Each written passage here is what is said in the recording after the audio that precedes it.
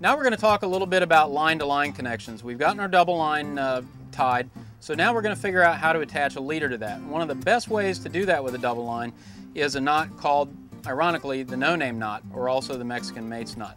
And then we're going to talk about single strand connections in uh, a very, very basic knot, the uni to uni. So let's start off with the uh, Mexican mate's knot or the no-name knot. Now this is one that you use, again, when we were talking about uh, when you're casting or jigging or any time you really need uh, to be able to get some line out without the knots getting hung up in the guides. So we've got our double line here. We're going to take a length of leader. And it's a very, very simple knot. You're going to go through one side of the double line. You're going to then wrap around six to ten times around the double line. One, two, three, four, five, six, seven, eight. Then you're going to come back through the end loop of the double line, but you're going to come out on the opposite side. That's very, very important because if you come out on the same side, this knot is actually going to cut itself. So you're going to go ahead and just pull on the tag end until that end folds over. Kind of lube the knot up a little bit and then tighten down.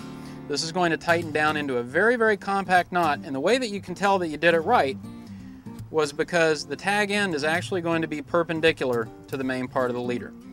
You want to trim it, but not too close because uh, as with braid and some other knots, if this does happen to slip just a little, it might not necessarily break, but you do need that little tag end there to, uh, to keep it in place for you.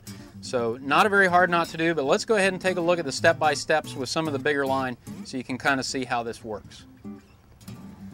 So we've got our double line here represented by the orange accessory cord.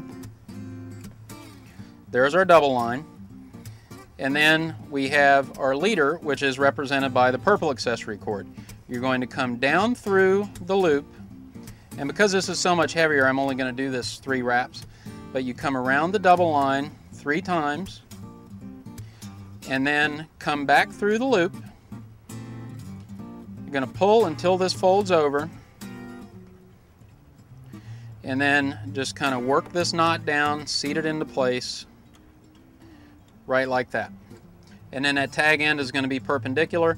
You're going to take that and cut it and trim it kind of close and that's basically the Mexican uh, mate's knot or the no-name knot.